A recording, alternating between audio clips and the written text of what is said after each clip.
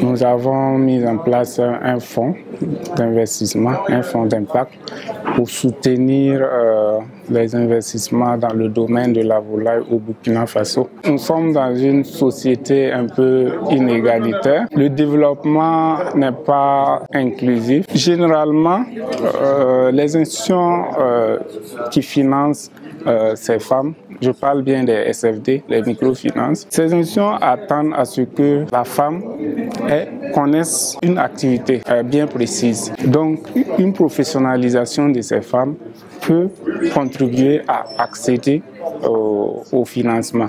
Aussi, il y a le côté regroupement. Il faut organiser les femmes en, groupement. Cela permet aux membres de ce groupe-là d'accéder facilement au financement proposé par ces institutions de microfinance à travers le système de, garantie mutuelle. Un autre point, c'est que les autorités appuient ces femmes-là à travers la mise en place de fonds.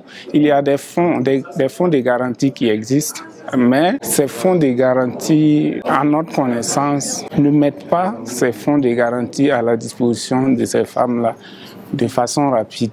Ça prend du temps souvent pour cautionner les activités des femmes. Donc c'est de faciliter un peu l'accès de ces fonds de garantie au groupement de femmes, par exemple.